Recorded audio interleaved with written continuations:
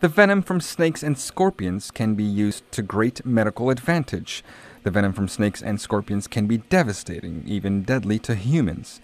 But medical experts say the same properties that make the venom harmful can be used to produce life saving medicines and treatments. Venom potential is huge. We have calculated that in snake venom, or precisely in scorpion venom, we can find a few hundred unknown different toxins. We only know 1 or 2% of them. There are about 2,000 different species of scorpions. If you multiply these 2,000 species by hundreds of toxins, you will get millions of substances to analyze and to study. This is a huge potential. The venom toxins are used to make anti venom, which medical experts say is the only antidote for serious poisonous snake and scorpion bites. But the demand for venom getting higher and the supplies getting lower and lower, say market research groups.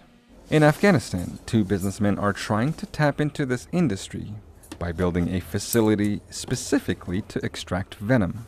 The co owners say a kilogram of snake venom sells for over a million dollars on the market. We noticed in different districts that snakes and scorpions were being smuggled outside Afghanistan. So we decided to open this farm to prevent the smuggling and also produce a very high quality venom because the quality of the venom in Afghanistan is superior. In the last six months, we produced between four to 600 grams of venoms. We hope the Afghan government will help us to reach international markets. Azizi and Darwish say Afghanistan's terrain and weather makes it an ideal location for snakes and scorpions and their venom extraction business.